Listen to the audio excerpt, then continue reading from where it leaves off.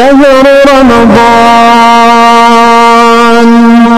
شهر رمضان الذي أنزل فيه القرآن.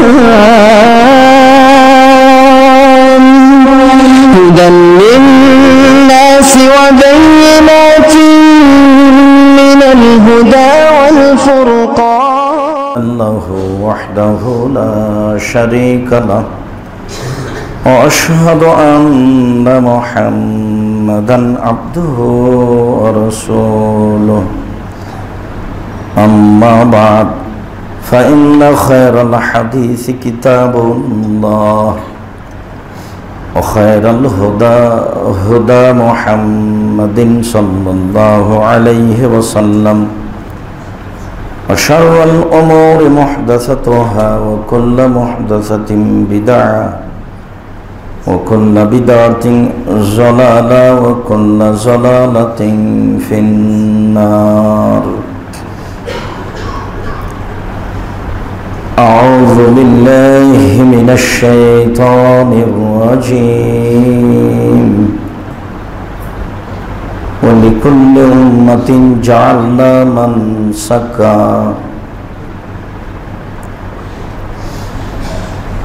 عن جابر رضی اللہ تعالیٰ عنہ قال قال رسول اللہ صلی اللہ علیہ وسلم، لا تذبحوا الا مسنہ راہ مسلم۔ عن ام سلمہ رضی اللہ تعالیٰ عنہ قالت، قال رسول اللہ صلی اللہ علیہ وسلم، من رأى হেলাল দিল হিজ্জা ও আরাদা ইদাহিয়া ফলাইয়া খুব মিন আদফারিহি ও রাহ মুসলিম। সম্মানিত মসজিদের মুসল্লি, প্রশংসা আল্লাহর জন্য। শান্তি অবতীর্ণ হক আল্লাহ রাসুলের উপর সাল্লাহ আলহি আসাল্লাম আর্যমর খুদ্বাই সংক্ষিপ্ত সময় বক্তব্যের বিষয় কোরবানি। কুরবানি সম্পর্কে গুরুত্বপূর্ণ সংক্ষিপ্ত তত্ত্ব তথ্যবহল বিবরণের চেষ্টা করব ইনশাল্লাহ আজিজ। কোরবানি শব্দটি কুরব থেকে নির্গত, যার অর্থ হচ্ছে নৈকট্য লাভ করা, আল্লাহর সন্তুষ্টি অর্জন করা। যেসব এবাদতের বিনিময়ে আল্লাহকে সন্তুষ্ট করা যায়, কোরবানি তার একটি গুরুত্বপূর্ণ বিষয়। কুরবানির মাধ্যমে মানুষ আল্লাহ তালাকে সন্তুষ্ট করতে পারে। কুরবানি। আজ থেকে প্রায় সাড়ে পাঁচ হাজার বছর পূর্বে ইরাকের ব্যাবিলন শহরের উর নামক গ্রামে ইব্রাহিম আলাহ ইসলাম জন্মগ্রহণ করেন। তিনি যে কোরবানি করেছিলেন, সেই কোরবানি আমাদের কোরবানি। যদিও কুরবানি প্রথা আদম আলাহ ইসলাম থেকেই চালু রয়েছে। আদম আলাহ ইসলামের একটি ছেলে, একটি মেয়ে একসাথে জন্ম নিত। আগের ছেলে পরের মেয়ে, পরের ছেলে আগের মেয়ে। এইভাবে তিনি বিবাহ দিতেন। কাবিলের সাথে জন্ম নিয়েছিল ইকলিমা আর হাবিলের সাথে জন্ম নিয়েছিল লিওয়াজা। ইকলিমা দেখতে বেশি সুন্দরী ছিল লিওয়াজার চেয়ে। আদম আলাইসাল্লাম তার নীতি অনুযায়ী বিবাহের সময় আসলে বিবাহের প্রস্তাব পেশ করলেন। কাবিল তা প্রত্যাখ্যান করল। কাবিল বলল, আমার সাথে যে মেয়ে জন্ম নিয়েছে, আমি তাকে বিবাহ করতে ইচ্ছুক। ছেলের এই চিন্তা ভাবনা দেখে আদম আলাইসাল্লাম বললেন আচ্ছা ঠিক আছে। তোমরা আল্লাহর দরবারে কুরবানি পেশ করো। যার কুরবানি কবুল হবে, সেই ইকলিমাকে বিবাহ করবে। পিতার পরামর্শ অনুযায়ী, যেহেতু কাবিল জমি চাষ করত তাই কিছু গম আল্লাহর নামে কোরবানি করল। যেহেতু হাবিল পশু পালন করত, তারই সুবাদে হাবিল একটি দম্বা আল্লাহর নামে কোরবানি করল। তখন কুরবানি কবলের পদ্ধতি ছিল, আকাশ থেকে আগুন এসে জ্বলে যাবে। যার কুরবানি জ্বলে যাবে, তার কুরবানি কবুল হয়েছে বলে প্রমাণ হবে। দেখা গেল, আকাশ থেকে আগুন এসে কাবিলের কোরবানি থেকে গেল, হাবিলের কোরবানি জ্বলে গেল। এতে কাবিল ক্ষুব্ধ হল। কাবিল তার মান, মর্যাদা, সম্মান ঠেকাতে গিয়ে সময় সাপেক্ষে হাবিলকে হত্যা করল।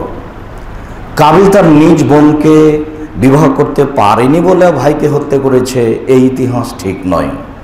বরং কাবিল তার মান মর্যাদা রক্ষা করতে গিয়ে, সমাজে অপমান রক্ষা করতে গিয়ে সে কাজ করেছে, সে ভেবেছে যে হাবিলকে হত্যা করা ছাড়া মান সম্মান নিয়ে বেঁচে থাকার কোনো পথ নেই। এ ব্যাপারে মহান আল্লাহ বলেন, ফাকাররাবা কুরবানান। দুই ভাই আল্লাহর নামে কুরবানি পেশ করল। ফাতুকুব্বেলা মিন আহাদেহমা ওয়ালাম ইউতাকাব্বাল মিনাল আখার। দুইজনের, একজনের কোরবানি কবুল হলো অপরজনের কোরবানি কবুল হলো না। কালা, অপরজন বলল, লাখ তোলান নাকা, অবশ্যই আমি তোমাকে হত্যা করব। এ কথা কাবিল বলছে হাবিলকে। আল্লাহ এ কথা বলছেন। তার মানে কাবিলের কুরবানি কবুল হয়নি বলেই তার একটা মান সম্মানের ব্যাপার। সে বলছে, লাখ তোলান নাকা অবশ্য আমি তাকে হত্যা করব। তখন হাবিল বলছে, ঠিক আছে, তা তুমি করতে পারো। তুমি হাত বাড়ালে আমি হাত বাড়াবো না। তুমি আমার পাপ আর তোমার পাপ দুইজনের পাপ নিয়ে বিচারের মাঠে উঠিও। আমি এই কাজ করব না। এই কথাটা রসুল সাল্লাহ সাল্লাম ওই সময়েও বলেছেন। যখন তিনি বলেছেন, সমাজ যখন ফেতনায় পরিপূর্ণ হয়ে যাবে, সমাজে যখন মারামারি, হইচই, দাঙ্গামা, হাঙ্গামা, জেনা, রাহাজানি, চুরি বেশি হয়ে যাবে, তখন তোমরা কি করবে? ওই সময়ে পায়ে চলা ব্যক্তি ভালো হবে, বসে থাকা ব্যক্তির চেয়ে। বসে থাকা ব্যক্তির চেয়ে ভালো হবে বাড়িতে থাকা ব্যক্তি। এইভাবে তিনি সিরিয়াল বললেন। তখন সাহাবি বলছেন, আল্লাহর নবী, আমি যদি বাড়িতে বসে থাকি, ওই সময়েও যদি কেউ এসে আমাকে বাড়িতে হত্যা করে, তাহলে আমি কি করব। তখন রাসুল সাল্লাহ আলি সাল্লাম উত্তরে বললেন, তখন তুমি আদমের দুই ছেলের ভালোটার মতো হয়ে যাওয়া ও তোমার বাড়িতে ঢোকে হত্যা করবে, তখন তুমি বলবা আচ্ছা ঠিক আছে, তুমি হত্যা করো করো। আমি তোমাকে কিছু বলব না। বিচারের মাঠে তুমি আমার পাপ আর তোমার পাপ নিয়ে উঠিও। এই কথা রসুল সাল্লাম বলে দিলেন। আমাদেরকে কেয়ামাত পর্যন্ত মানুষ এ বিষয়ে সতর্ক থাকবে। যেহেতু মানুষ কোরআন, হাদিস পড়ে না, কাজেই শরীয়ত সম্পর্কে অবগত হয় না। যেহেতু ভারত, বাংলাদেশের জমা মাসিদের খুদ্বাগুলি শতকরা আটানব্বই থেকে নিরানব্বই জন এমাম মুন্সি, তারা কি খুদবাতে বলবে এ কথাও তাদের জানা নাই, যার কারণে মানুষ শরীয়ত অবগত হতে পারে না। আর যারা কিছু ধর্মকর্ম জানে, তারা কোরআন হাদিসের সাথে সম্পর্ক রাখে না, তাদের কাছে ফেকা থাকলেই যথেষ্ট। আর যখনই মানুষ রাসুল সাল্লাহ আলি সাল্লামকে উপেক্ষা করে কোনো পথ পন্থা অবলম্বন করবে বা কোনো ব্যক্তিকে সামনে রেখে চল, চলতে চাইবে, তখন তাকে কোরআন এবং হাদিস উপেক্ষা করেই চলতে হবে। এটা স্বাভাবিক গতি। বলছিলাম, আমাদের কুরবানি আদম আলি সাল্লামের কুরবানি নয়, বরং ইব্রাহিম আলাই সাল্লামের কুরবানি। ইব্রাহিম আলাইসাল্লাম তার স্ত্রী সারাকে সাথে নিয়ে এক এলাকায় প্রবেশ করেছিলেন। সে এলাকায় স্বামী স্ত্রী চলতে পারে না। স্বৈরাচারী শাসক ছিল সে এলাকার শাসক। বলা হলো, আপনার এলাকায় একজন লোক প্রবেশ করেছে যার নাম ইব্রাহিম তার সাথে একজন মহিলা আছে, সে আরব ভূখণ্ডে সবচেয়ে সুন্দরী। লোক পাঠিয়ে জিজ্ঞাসা করা হলো, এই মহিলা কে? ইব্রাহিম আলাইসাল্লাম বললেন, এই মহিলা আমার বোন। তারপর তিনি তার স্ত্রীকে বললেন, দেখো সারা, তুমি আমাকে ফলাতুকা দেব নি মিথ্যুক প্রমাণ করো না। কাদা তো আমি তাদেরকে বলে দিয়েছি আল্লাহকে উক্তি। তুমি আমার বোন, তুমি যদি এখন বলো যে সে আমার স্বামী, তাহলে আমি মিথ্যুক হয়ে যাব। তবে তুমি মনে রেখো সারা, এই মাটির উপরে আমি আর তুমি, এই দুজন ছাড়া কোনো মুসলমান নেই। এই হিসাবে আমি আর তুমি ভাই বোনও বটে। কৌশল রক্ষা হলো না। শেষ পর্যন্ত ইব্রাহিম আলাই ইসলাম তার স্ত্রী সারাকে, স্বৈরাচারী শাসকের কাছে পাঠালেন। যখন স্বৈরাচারী শাসকের ঘরে সারা ঢুকলেন তখন সে দাঁড়াল, সে হাত বাড়ালো, তার গায়ে হাত লাগাবে। সারা বললেন, থামেন, আগে অজু হবে, দুরেকাত সলাৎ হবে, তারপরে কোনো কথা। তিনি অজু করলেন, দুরেকাত সলাৎ আদায় করলেন, তারপরে বললেন আল্লাহ মেন কুন্তা তা আলাম আল্লাহ তুমি যদি জেনে থাকো আমান তো বেকবে রাসুলেকা আমি সারা তোমাকে বিশ্বাস করি, আর তোমার নবী ইব্রাহিমকে বিশ্বাস করি। আমি নবী ইব্রাহিমকে স্বামী বলছি না আমি বলছি ইব্রাহিম নবী। আমি তাকে নবী হিসাবে মেনে নিয়েছি। এবং তুমি যে লাশারিক এক অদ্বিতীয় এটা আমি মেনে নিয়েছি। আসান তো ফার্জি যাওজি।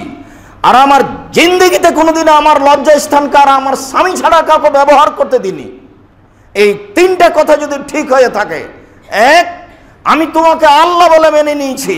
দুই, তোমার নবী ইব্রাহিমকে নবী বলে আমি মেনে নিয়েছি। তিন আমার জীবনে কোনোদিন আমার লজ্জা স্থানকে আমার স্বামী ছাড়া কাউকে ব্যবহার করতে দিনি। এই কথা যদি ঠিক হয়ে থাকে ফালাতুসাল্লাহ তালা আল কাফেরা, তাহলে স্বৈরাচারী শাসক নির্জনে আমার গায়ে যেন হাত লাগাতে না পারে। কথা বলার দেরি হয়নি, সাথে সাথে স্বৈরাচারী শাসক অজ্ঞান হয়ে মাটিতে পড়ে গেল। সে হাত পা আছড়াচ্ছে, সে বলছে, দেখো, তোমার প্রতিপালক একটু বলো, আমি ভালো হয়ে গেলে তোমার সাথে অন্যায় করব না। সারা বললেন, আল্লাহ, একে ঠিক করো। এ যদি এখন মারা যাই, তাহলে প্রমাণ হবে আমি তাকে হত্যা করেছি। তখন আমরা স্বামী স্ত্রী এখান থেকে পার হতে পারব না। আল্লাহ কথা শুনলেন, সে ঠিক হয়ে গেল। আবার সে অন্যায় করার চেষ্টা করল। আবার সারা তাই বললেন, সে অজ্ঞান হয়ে পড়ে গেল। তৃতীয়বারে স্বৈরাচারী শাসক বলল, এই, তোমরা কে আছো? তোমরা তো এখানে শয়তান পাঠিয়েছে, তো শয়তান, তোমরা একে এখান থেকে সরাও। দোয়া করে সারা আল্লাহর সহযোগিতা নিয়ে তাকে রক্ষা করলেন। সে তার উত্তর দিল, এ হচ্ছে শয়তান। তার মানে তার কথার সাথে একমত হয়নি। এরপরে স্বৈরাচারী শাসক বলল আচ্ছা ঠিক আছে, তোমাকে আমি একটা কাজের মেয়ে দিলাম, যার নাম হাজেরা। সারা হাজেরাকে সাথে নিয়ে ইব্রাহিমের কাছে প্রবেশ করলেন। বললেন স্বৈরাচারী শাসকের উদ্দেশ্যকে আল্লাহ ধ্বংস করেছে। সে সফল হতে পারেনি। সে একটা কাজের মেয়ে দিয়েছে, এই যে হাজেরা। ইব্রাহিম আলাইসাল্লাম স্ত্রী সারা এবং কাজের মেয়ে হাজেরাকে নিয়ে চললেন। এক পর্যায়ে সারা বললেন, হাজেরাকে? হাজেরা, আমাদের তো কোনো ছেলে মেয়ে নেই। তুমি আমার স্বামীর সাথে বিবাহ বন্ধনে আবদ্ধ হও, যদি কোনো ছেলে মেয়ে হয়। হাজেরা বললেন, না, যা আছি ভালো আছি। বিবাহ বন্ধনে আবদ্ধ হলে ভালোবাসায় ফাটাল ফাটতে পারে।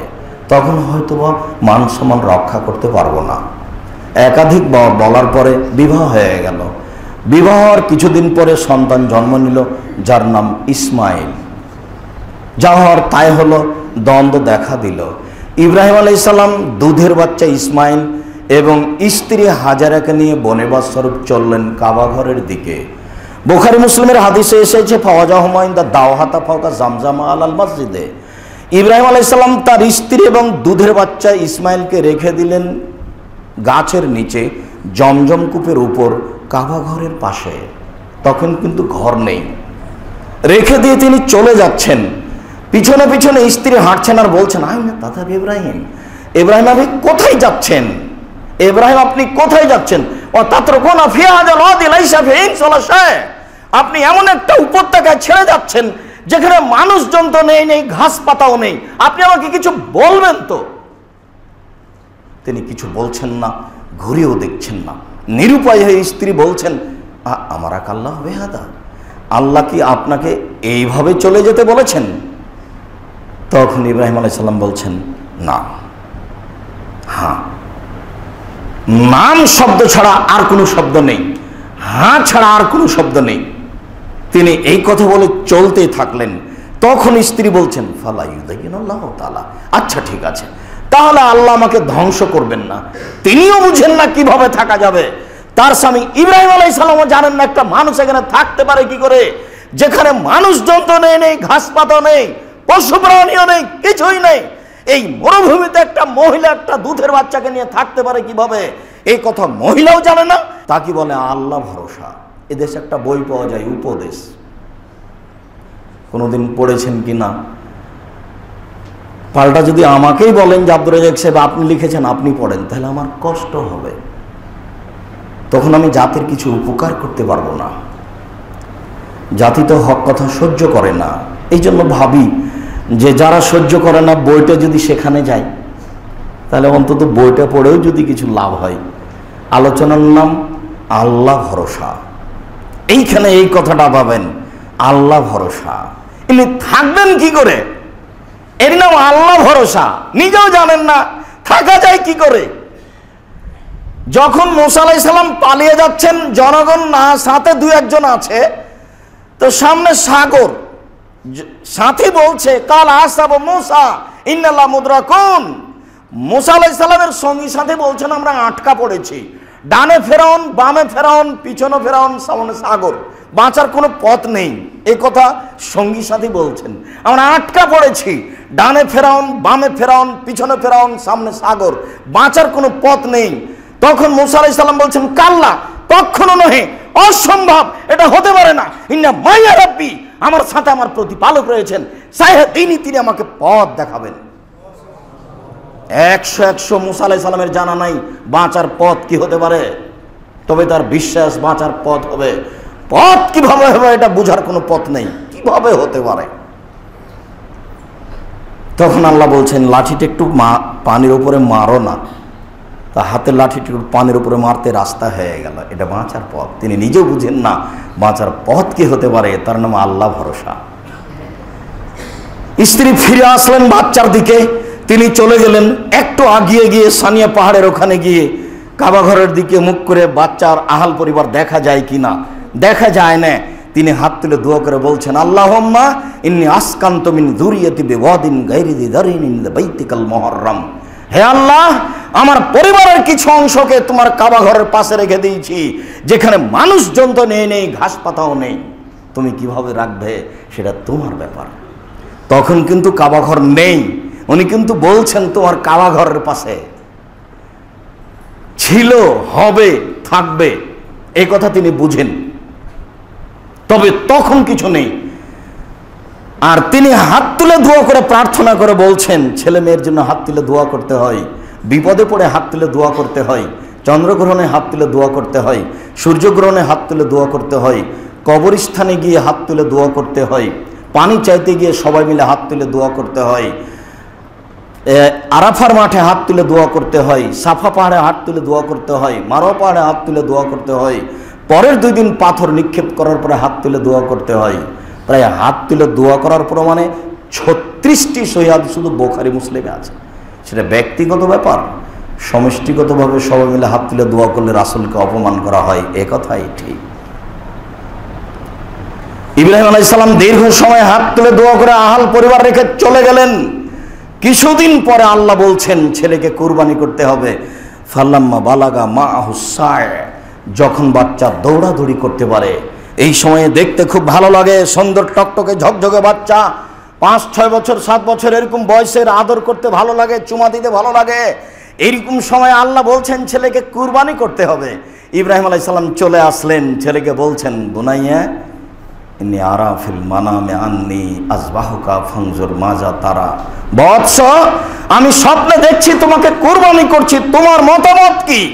তখন ছেলে বলছে, এই আবা তিফল, মা তোমারও সাতাজেদুনি ইনশাআল্লাহ মিনাস সাবিরিন। আব্বা, আপনি যা স্বপ্নে দেখেছেন তা বাস্তবায়ন করুন আপনাকে আমাকে ধৈর্যশীল পাবেন। ফাসলামা, বাপ বেটা একমত হয়ে গেলেন।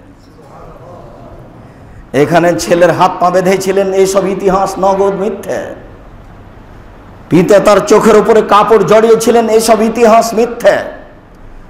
ছুরির নিচে লোহা লাগিয়ে দেওয়া হয়েছিল, তাই কাটে না, এসব নগদ মিথ্যা কথা। ছুরি আল্লাহর কথা মানে।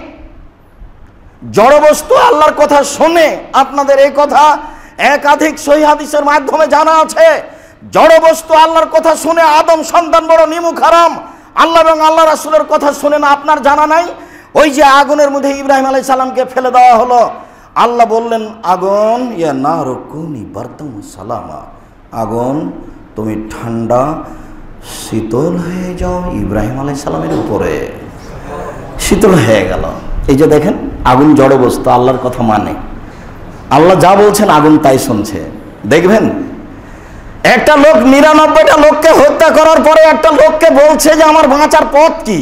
তখন লোকটা বলছে, নিরানব্বইটা লোককে হত্যা করে বাঁচার পথ খুঁজো। তখনও বলছে, যদি না থাকে তাহলে আর তোমাকে রেখে কি হবে? তোমাকে শেষ করি। তো একশোটা হলো। এখন বলছে বাঁচার পথ, তাহলে অমুক গ্রামে যাও। তো যাওয়ার শুরু করতেই সময় শেষ। বোখারি মুসলিমের হাদিসে এসেছে, ফা না সাদরা হয়ে হা যখন মাটিতে পড়ে যায়, তখন বুকটা একটু ওই দিকে ঠেলে দিয়েছে। দিয়ে আল্লাহকে দেখাতে চাচ্ছে। পাপ করেছি, সেটা ভিন্ন কথা। বুকটা ওইদিকে দেখিয়ে তোমাকে দেখালাম, আমি ক্ষমা চাচ্ছি। আমি খুঁজছি ক্ষমার পথ কোথায়। দুই দল ফেরেস্তা হইচই লাগালো, জাহান্নাম জান্নাত। আল্লাহ বলছেন, থামো, দেখো তো কত পথ গেছে আর কত পথ বাকি আছে। মাপতে লাগিয়ে দিয়ে আল্লাহ ওই গ্রামকে বলছে যে, একটু আগে আসো। আর যেই গ্রামে মারা গেছে, সেই গ্রামকে বলছে, তুমি পিছে হটো। তাই হলো, এই গ্রাম পিছে উঠল, ওই গ্রাম আগিয়ে গেল। দেখবেন, এরই নাম জড়বস্তু আল্লাহর কথা মানে। মানুষ বড় নিমুখ হারাম, আল্লাহর কথা মানে না। দেখবেন, একটা লোক খুব বড় পাপি, তার ছেলে মেয়েকে বলছে, শোনো ছেলেরা, তোমরা আমার উপদেশ মানো। আমি নিজে খুব বড় পাপি মানুষ। আমার যখন মরণ হবে, তখন তোমরা আগুন দিয়ে জ্বালিয়ে অর্ধেক ছাই মাটিতে ফেলে দিও, অর্ধেক ছাই পানিতে ফেলে দিও। লাইন কাদার আল্লাহ আলাইহে। আল্লাহ যদি তোমাদের পিতাকে ধরতে পারে আলাম, তাহলে তোমাদের পিতাকে এত আল্লাহ শাস্তি দিবেন, পৃথিবীর কোনো মানুষকে আল্লাহ এত শাস্তি দিবেন না। সেই লোকের ধারণে নিজে সবচেয়ে বড় পাপী ছেলেরা তাই করল, বাপ মারা গেলে আগুন দিয়ে জ্বালিয়ে অর্ধেক ছাই মাটিতে ফেলে দিল, অর্ধেক ছাই পানিতে ফেলে দিল। আল্লাহ মাটিকে বললেন, ছাইগুলো জমা করে দাও, দিল। আল্লাহ পানিকে বললেন, ছাইগুলো জমা করে দাও, দিল। এই দেখেন জড়বস্তু আল্লাহর কথা মানে। ছুরির নিচে লোহা লাগাতে হবে কেন? আল্লাহ ছুরিকে বলে দিয়েছেন, কাজ করব না, বাস। ইব্রাহিম আলাইসাল্লাম কেয়ামাত পর্যন্ত যে ছুরি চালাতে থাকে, ছেলের কিছু হবে না। তার নাম আল্লাহর আদেশ। নাম জড়বস্তু আল্লাহর কথা মানে।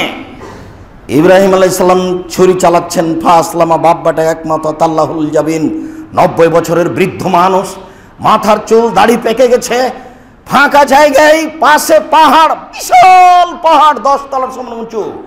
এই মিনা ওয়াদিতে বাচ্চাকে উপুর করে সইয়ে দিয়ে বারবার ছুরি চালাচ্ছেন দর্শক আল্লাহ। দর্শক ফেরেস্তা আর কেউ নেই। একবার যে আল্লাহ বলছেন, ইব্রাহিম, কাদ সাদ্দাক্তা রুয়া তুমি তোমার স্বপ্নকে বাস্তবায়ন করেছ। তোমার ছেলেকে কুরবানি করতে হবে এটা আমার বাঁধেনি। আসলে আমি তোমাকে পরীক্ষা করছিলাম, তুমি পরীক্ষায় পাস করতে পারো কি না তুমি পরীক্ষায় পাস করে গেছো, ইব্রাহিম। এই কুরবানি, সেই কুরবানি, যে কুরবানি আমরা করি, অথচ হারাম টাকা দিয়ে করি। কে কাকে বুঝাবে?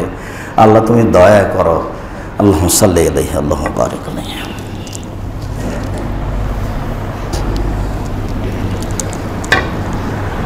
আলহামদুলিল্লাহ ওয়াহদা, আসসালাতু ওয়াসসালামু আলা মাল্লা নবী আবাদা মহান আল্লাহ বলেন, ওয়ালি কুল্লি উম্মাতিন জালনা মানসাকা। আমি পৃথিবীর প্রত্যেকটা সম্প্রদায়ের জন্য কুরবানির ব্যবস্থা করেছি। সকল নবী তার স্ব সম্প্রদায়কে কুরবানির কথা বলেছেন। আমাদের নবী মোহাম্মদ সাল্লাহ সাল্লাম আমাদেরকে কুরবানির কথা বলেছেন। যদিও কুরবানি ইব্রাহিম আলাই সাল্লামেরই নীতি তখন থেকেই চালু। আনাস রাজি আল্লাহ তালান বলেন, রাসূল সাল্লাল্লাহু আলাইহি ওয়াসাল্লাম বলেছেন, মান কান আল্লাহু ওয়ালাম ইজাহি, ফালা ইয়াকরাবান্না মুসাল্লানা। যার টাকা পয়সা আছে, সে যদি কুরবানি না করে, তাহলে সে যেন আমার ঈদের মাঠে না আসে। এই কথার অর্থ এই নয় যে কুরবানি ফরজ। রাসূল আলাইহি সাল্লাম বললেন যে, তোমরা কুরবানি করো। কেন? এতে অনেক নেকি আছে। মহান আল্লাহ বললেন আপনি সলাত আদায় করুন, আপনি কুরবানি করুন। আল্লাহ তালা আমাদের নবীকে সলাত আদায় করতে বলছেন, কুরবানি করতে বলছেন। অর্থাৎ কুরবানি একটি ভালো কাজ যাতে আল্লাহ তালাকে খুব বেশি বেশি সন্তুষ্ট করা যায়। যেসব মাধ্যমে আল্লাহকে সন্তুষ্ট করা যায়, তার একটি বড় কাজ হচ্ছে কুরবানি। জাবের রাজি আল্লাহ তালান বলেন, কুরবানির ব্যাপারে তিনি বলেন, লা তাজবাহু ইল্লা মুসিন্না। তোমরা দাঁত ছাড়া কুরবানি করো না। কুরবানির পশু কুরবানির পশু কেনার সময় প্রথমত দাঁত দেখে কিনতে হবে। আমরা বুঝেছি এক বছর হলেই কুরবানি করা যায়।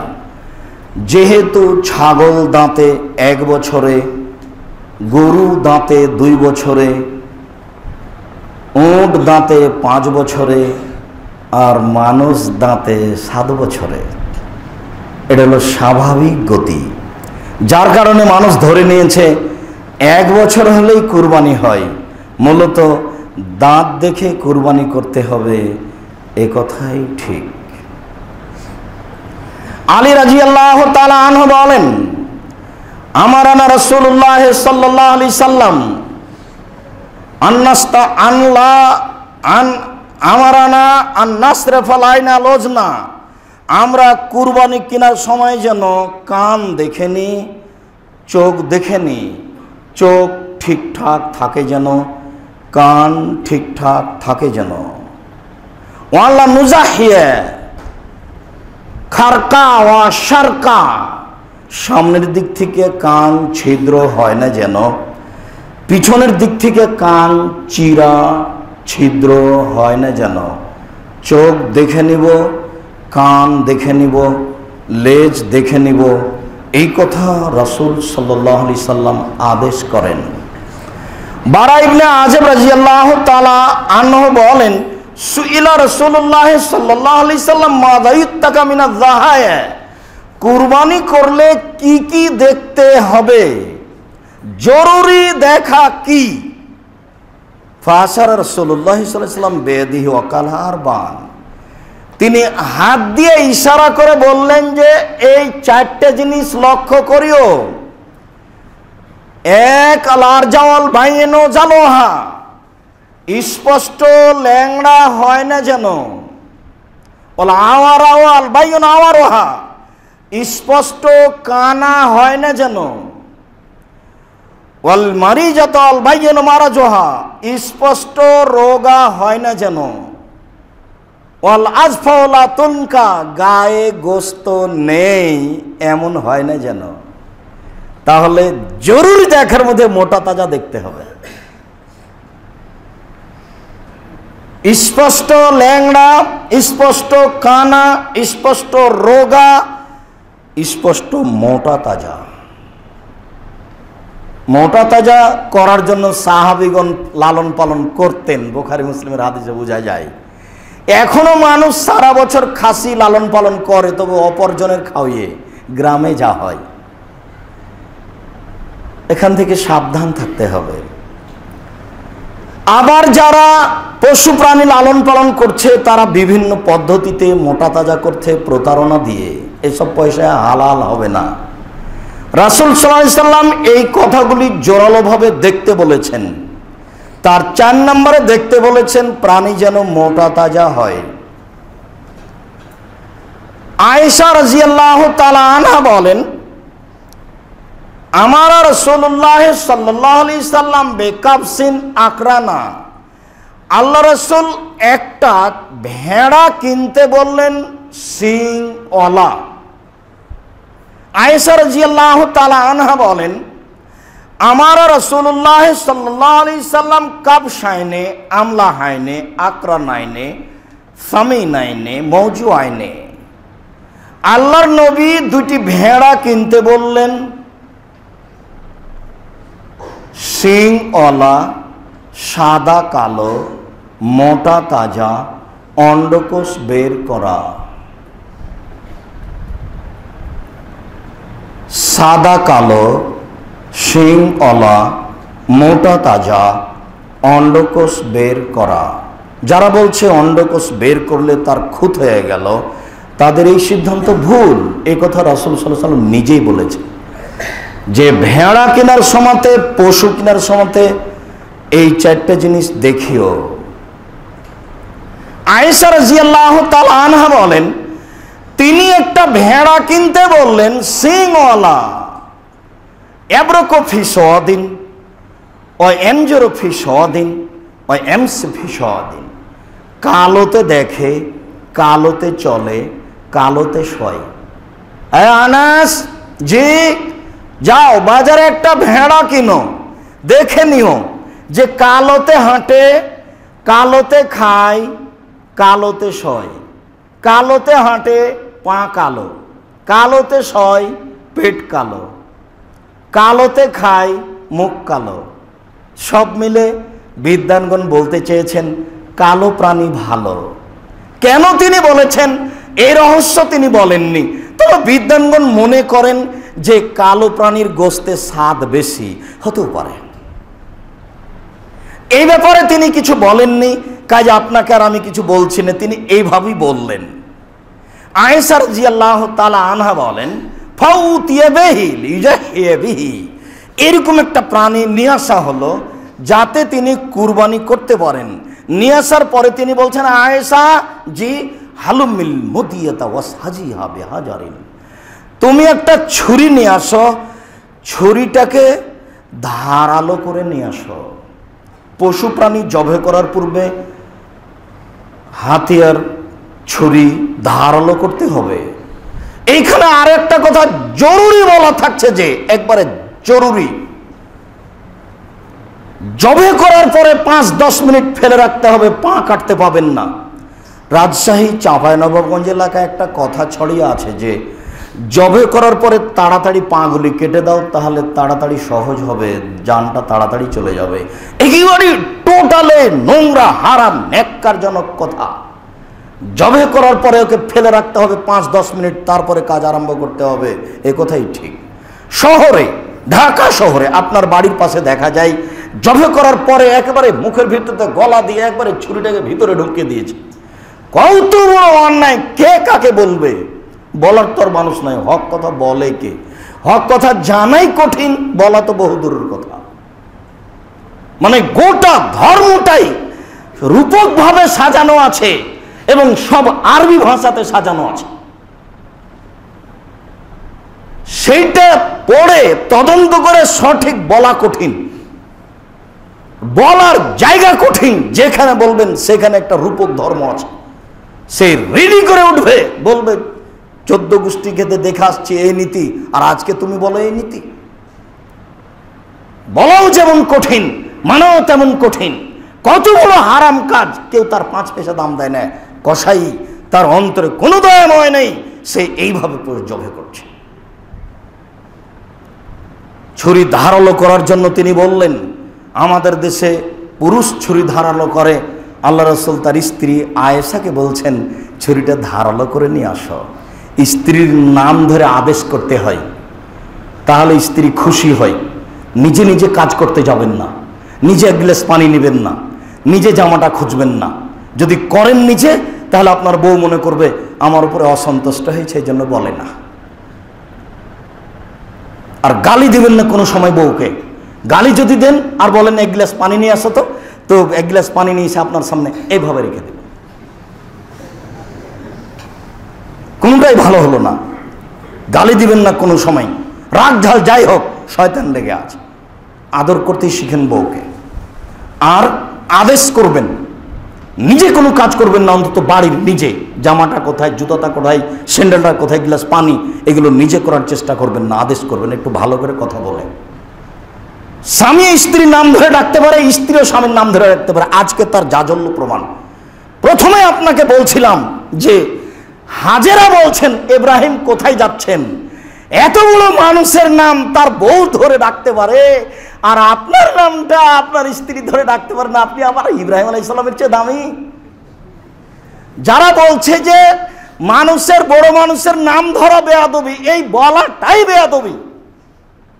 এই কথা বলল মানে তার ধর্মীয় জ্ঞান মোটেই নেই। তার এই ভাষাটাই বেয়াদবি, তাকে হিসাব করতে হবে।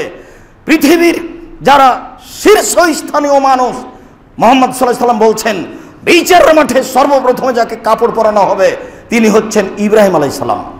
তখন তার পরনে কাপড় থাকবে, এই কথা তিনি বলেননি। তার মানে বিচারের মাঠে এক পর্যায়ে ইব্রাহিম আলাই সালাম সবচেয়ে দামি, এই কথা তিনি দেখাচ্ছেন। আর ইব্রাহিম আলাই সালামের মান সম্মানই ভিন্ন। যখন সপ্তম আকাশে জিবরাল আলাই সাল্লাম তাকে নিয়ে যাবেন জিবরাল আলাই সাল্লাম বলবেন, হুয়া ইব্রাহিম আবু কাফা সালাম আলাইহে এটা ইব্রাহিম, এটা আপনার বাপ, আপনি তাকে সালাম দেন। তখন আমাদের নবী মোহাম্মদ সাল্লাহ একটু আগিয়ে যাবেন। আগিয়ে গিয়ে বলবেন, আসসালাম আলাইকুম আবি ও আমার আব্বা আপনাকে সালাম। নত শিগির করে আগে যাচ্ছেন, আগিয়ে যাচ্ছেন। তখন ইব্রাহিম আলাই সাল্লাম বলছেন ওয়ালাইকা সালাম আপনি সালে ও নবী সালে, ও আমার সৎ ছেলে, সৎ নবী, তোমাকেও সালাম। এই ইব্রাহিম আলাই সাল্লামের নাম ধরে তার স্ত্রী বলছেন, ইব্রাহিম, কোথায় যাচ্ছেন? ইব্রাহিম কোথায় যাচ্ছেন? অর্থাৎ কোন এমন একটা উপত্যকে ছেড়ে যাচ্ছেন যেখানে মানুষজন তো নেই নেই, ঘাস পাতাও নেই। আর এইবার স্ত্রীর নাম ধরে ডাকছেন স্বামী মোহাম্মদ সাল্লাহ সাল্লাম বলছেন, আয়েশা, জি, ছুরিটা নিয়ে আসো তো, ধারালো করে নিয়ে আসো। তিনি বলছেন, ফাফাল তো। অন্য বর্ণনা আছে, ফাফাল, আর তিনি তাই করলেন।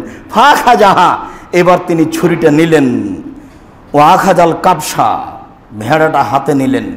ফাজ জাহু ফেলে দিলেন। বুখারি মুসলিমের আর একটা হাদিসে এসেছে, ফওয়াদা কাদামাহু। আল্লাহ সেফাহেহা, তিনি তার পাটাকে তার চুয়ালের উপরে রেখে দিলেন। উত্তর দক্ষিণ ফেলতে হবে এ কথা জরুরি নয়। যেদিকে সুবিধা হবে সেদিকে ফেলবেন, এ কথাই ঠিক। তিনি তার পাটাকে, আসলে চুয়াল গালকে বুঝায়, কিন্তু গাল নয় অর্থ তিনি তার পাকে, তার পায়ের উপরে, পার্শ্বের উপরে রেখে দিলেন। তারপর হাত দিয়ে ধরে বলছেন বিসমিল্লা আল্লাহুম্মা তাকাব্বাল বিন মোহাম্মদ ও আলে মোহাম্মদ সুমাদাবা আল্লাহ, তুমি কবুল করো মোহাম্মদের পক্ষ থেকে, তার পরিবারের পক্ষ থেকে। বিসমিল্লা আল্লাহুম্মা তাকাব্বাল বিন মোহাম্মদ ও আলে মোহাম্মদ বা উম্মতে মোহাম্মদ। সম্মানিত মসজিদের মুসল্লি আমরা এখানে জরুরি একটা অংশ বলতে চেয়েছি, সেটা হলো এই যে সাত ভাগে কুরবানি করতে হবে। জাবের রাজি আল্লাহ তালাহ বলেন, রাসুল সাল্লাহ আলি সাল্লাম বলেছেন আল বাকারাতন সাবাতিন আল জাজুরান সাবাতিন। গরু সাতজনের পক্ষ থেকে, উঁট সাতজনের পক্ষ থেকে। হাদিস মুসলিম। সাতজন সাত পরিবারের পক্ষ থেকে একটি গরু কুরবানি করতে হবে। এই মর্মে রাসুল সাল্লাহ সাল্লাম কিছু বলেননি। আহলাদিসের একজন খুব বড় উচ্চশিক্ষিত মানুষ ছিলেন, মৌলানা আবদুল্লাহিল কাফিয়াল কোরাইশি রাহমাহুল্লাহ। অনুমান আজ থেকে নিয়ে ষাট সত্তর বছর আগে একটা বই লিখেছিলেন, ফতোয়া মাসাইল। সেই বইয়ের এক পর্যায়ে লেখা আছে, একটি গরুতে সাতটি পরিবার অংশগ্রহণ করতে পারবে, এরকম কোনো হাদিস আমি আবদুল্লাহিল কাফিয়াল কোরাইশি জানি না। আমি আব্দুর রাজাক বিন ইউসুফ, সাতানব্বই সাল থেকে আমি শরীয়ত তদন্ত চালাচ্ছি। ফতোয়া লিখা আমার কাজ। আমার বিদ্যা কম, তবে আমি ফতোয়া লিখি, এটা আমার কাজ। আমার কাজ মূলত দুইটা, একটা হলো শিক্ষকতা করা আর একটা হলো ফতোয়া লেখা। আমার এই দীর্ঘ উনিশ বছরের তদন্তে একটা গরুতে সাতটা পরিবার অংশগ্রহণ করবে, এরকম কোনো হাদিস আমার নজরে পড়েনি। জানি না যারা বলছে তাদের তদন্ত কোথায়, আমার তদন্তে আসেনি। আমার বিদ্যা কম, তবে আমি তদন্ত করি বেশি। এই কথা ঠিক। আর লিখিত ফতোয়া লিখাই আমার কাজ। সম্মানিত মসজিদের মুসল্লি, রাসুল সাল্লাহ আলি সাল্লাম একটি গরুতে সাত জনের কথা বলেছেন, সাত পরিবারের কথা বলেননি। সেই কালে এমাম মালিক রাহেমাহুল্লাহ বলেছেন, একটি গরু সাতজন বাড়িতে জবাই করা কাজটা ঠিক নয়। সাতজন অংশগ্রহণ করবে তবু সফরে। এই কথা আমরা বলি না সফরের সাথে, তবে সাতজন করবে এই কথা বলি, সাত পরিবার নয়।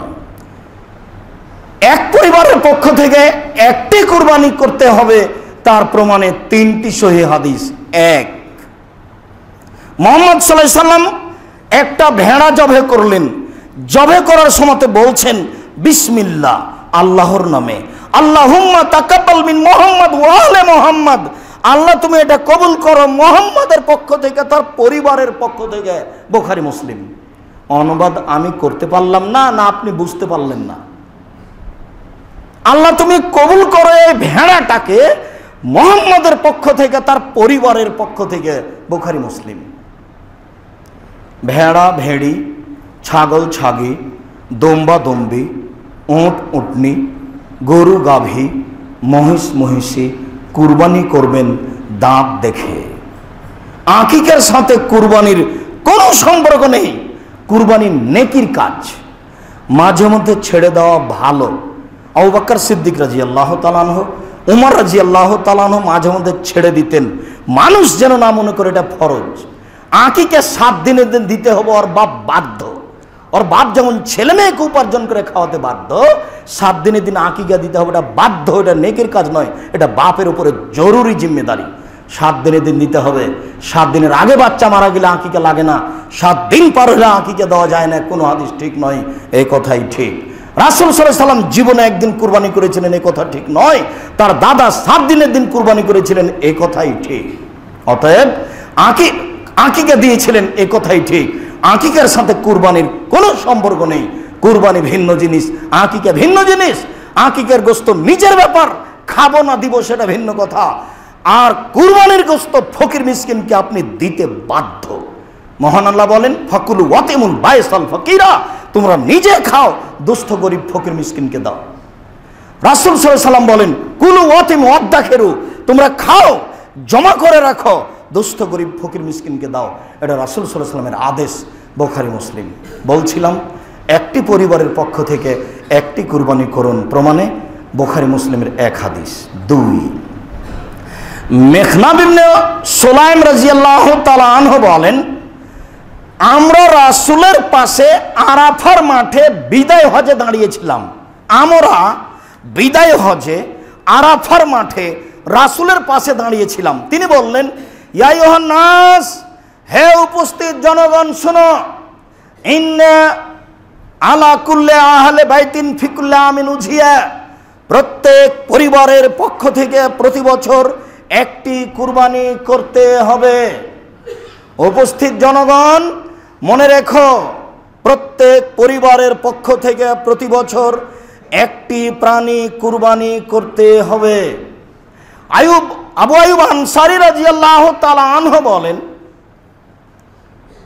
আসাবনা ফি আহাদিন নবী সাল্লাল্লাহু আলাইহি ওয়াসাল্লাম ইজাহিল বিশাত আনহ ও আনাহালে রাসূলের যুগে আমাদেরকেও আমরা ব্যক্তির পক্ষ থেকে এবং তার পরিবারের পক্ষ থেকে একটি ছাগল কুরবানি করতাম।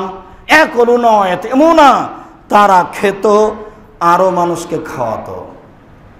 আমরা রাসূলের যুগে নিজ নিজ পরিবারের পক্ষ থেকে এবং নিজের পক্ষ থেকে একটি ছাগল কুরবানি করতাম, আমরা খেতাম, মানুষকে খাওয়াতাম। এই তিনটি সহি হাদিস আপনার সামনে পেশ করলাম পরিবারের পক্ষ থেকে এবং তার পক্ষ থেকে সাতজন, সাত পরিবার নয়। রাসুল সাল্লাম বলেন আল বাকারতান সাবাতিন আল জাজুরান সাবাতিন। গরু সাতজনের পক্ষ থেকে, উঁট সাতজনের পক্ষ থেকে, সাত পরিবারের পক্ষ থেকে নয়। পরিবার আর জন এক নয়। সম্মানিত মসজিদের মুসল্লি, আমরা আজকে কুরবানির আলোচনা করে আপনাদেরকে জরুরি অংশ যেটা পেশ করতে চেয়েছি, সেটা হলো এই কুরবানি একটি গুরুত্বপূর্ণ কাজ, যা দিয়ে আল্লাহকে সন্তুষ্ট করা যায়। বৈধ পয়সা দিয়ে কুরবানি করে অনেক নেকি অর্জন করার চেষ্টা করুন। কুরবানি কেনার সময়তে পশু বারবার সুন্দর করে দেখে কিনুন। রুচি সম্মত পশু কিনবেন। পরিবারের পক্ষ থেকে অন্তত একটি কুরবানি দেওয়ার চেষ্টা করবেন। টাকা বেশি আছে, রাজস্থান থেকে ওট কিনে নিয়ে এসে কুরবানি করুন। টাকা কম আছে, গরু কুরবানি করুন। তার চেয়ে টাকা কম আছে, খাসি কুরবানি করুন। তার চেয়ে টাকা কম আছে, ছাগি কুরবানি করুন। তার চেয়ে টাকা কম আছে, ভেড়া ভেড়ি কুরবানি করুন। একটা ভাগে যত টাকা লাগে, সেই টাকা দিয়ে আজও বাজারে তিনটে ভেড়া কিনে পাওয়া যাবে বলে অনুমান করা যায়। মর্মে, সকল দিনই ভাই বোনকে একাধিক একটা, একাধিক, দশটা, পঞ্চাশটা বেশি নেকির আশায় কুরবানি করার জন্য অনুরোধ রইল। সম্মিলিত মসজিদের দিনী মুসল্লি ভাই বোন, অনুরোধের শেষ অংশে এসে আমি আমার কথাটা আপনাদের বলে থাকি। আমার মনে বড় স্বাদ, এদেশের মাটিতে উন্নত মানের প্রতিষ্ঠান গর্বই গর্ব এ আশায় সুদীর্ঘ পনেরো বছর থেকে ঢাকায় আসতাম। তখন থেকে ভাবতাম কোথায় একটা বড় জায়গা পাওয়া যাবে। ঘুরতে ঘুরতে দেখা গেল, হয়তোবা সেই জায়গাটাই। এই জায়গা রূপগঞ্জ, নারায়ণগঞ্জ, হাঁটাবো, বীর হাঁটাবো, এই জায়গায় মনে হয় সেই জায়গা। প্রায় ষোলো বিঘে জমির ওপরে জামিয়া সালাফে এই প্রতিষ্ঠানটি গড়ে উঠেছে। দু হাজার তেরো সালের চব্বিশে আগস্ট, রোজ মঙ্গলবার, এগারোটার সময় জামিয়া সালাফিয়া হাঁটাবো, বীর হাঁটাবো, রূপগঞ্জ, নারায়ণগঞ্জ, ঢাকা। এই মাঠে আমি বলেছিলাম আমার হাতে টাকা নাই, এ কথাও সত্য। এখানে প্রতিষ্ঠান গড়বে, এ কথাও সত্য। কীভাবে গড়বে তা আমার জানা নাই, তবে গড়বে নিশ্চিত, ইনশাল্লাহ। এতে আমি বিশ্বাসী। দুই হাজার ষোলো সালের সতেরোই ফেব্রুয়ারি, রোজ বুধবার, জামিয়া সালাফিয়া ডাঙ্গিপাড়া পবা রাজশাহী সাড়ে চারটা, পাঁচটার সময় বলেছিলাম, আমার হাতে টাকা নাই, এ কথা সত্য। এখানে প্রতিষ্ঠান গড়বে, এ কথা সত্য। ইনশাল্লাহ গড়বেই গড়বে। কীভাবে গড়বে তা আমার জানা নাই, তবে নিশ্চিত গড়বে, অবধারিত গড়বে, ইনশাল্লাহ গড়বে, এটা আমার বিশ্বাস। কারণ আমার অন্তর ত্রুটি আছে, আমি এটা বুঝতে পারি না, এটাই আমার সাহস। জামিয়া সালাফিয়া ডাঙ্গিপাড়া পাবা রাজশাহী, জামিয়া সালাফিয়া হাটাবো বীরহাটা, রূপগঞ্জ, নারায়ণগঞ্জ, ঢাকা, এই দুইটা প্রতিষ্ঠানে এখন উনিশশো ছেলে মেয়ে পড়াশোনা করে। তারা ভিন্ন ভিন্ন স্থানে থাকে, প্রায় একশো জন শিক্ষক, শিক্ষিকা অবস্থান করে। আবাসিক প্রতিষ্ঠান। প্রতি মাসে বেতন লাগে প্রায় দশ লক্ষ। বেরাশি জন এতিম আছে। তাদের পিছনে প্রায় এক লক্ষ খরচ হয়। জামিয়া সালাফিয়ার পক্ষ থেকে একটা পত্রিকা বের হয় মাসিকাল ইতিসাম। এক লক্ষ চল্লিশ হাজার মতো খরচ আছে। এই প্রায় বারো লক্ষ, সাড়ে বারো লক্ষ টাকা খরচ করে জামিয়া সালাফিয়া প্রতি পাশে আপনাদের সহযোগিতায়। আমি এ মর্মে আপনাদের বলতে চেয়েছি, এই কাজগুলি এক আর আমার উপরে চাপিয়ে দেওয়ার চেষ্টা করিয়েন না। সকল দিনই ভাইকে বোনকে বলে যাচ্ছি, আপনাদের কাছে আমার পক্ষ থেকে প্রথম দাবি, একটু আল্লাহর কাছে দোয়া করবেন। আল্লাহ, তুমি জামিয়া সালাফেকে কবুল করো। এরপরে জোরালো দাবি, পরামর্শ দিবেন। আপনার পরামর্শ মূল্যায়ন করা হবে।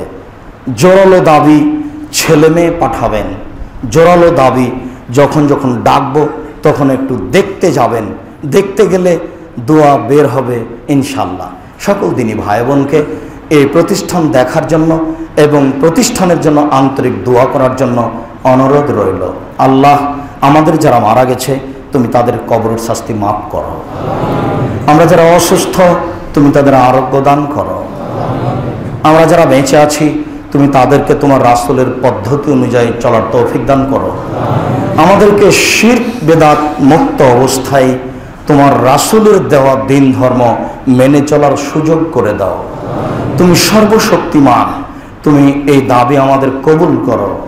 সাথে সাথে এই মসজিদ, আদাবর এই আহলে হাদিস মসজিদটি খুব একটা কঠিন অবস্থায় অবস্থান করছে, তুমি এর সার্বিক কাজগুলি সহজ করে দাও। যারা দিনী ভাই বোন মসজিদে আসে, তারা যেন অন্তর থেকে মসজিদকে ভালোবাসে তারা যেন মসজিদে সহযোগিতা করে, এরকম সুযোগ তুমি করে দাও।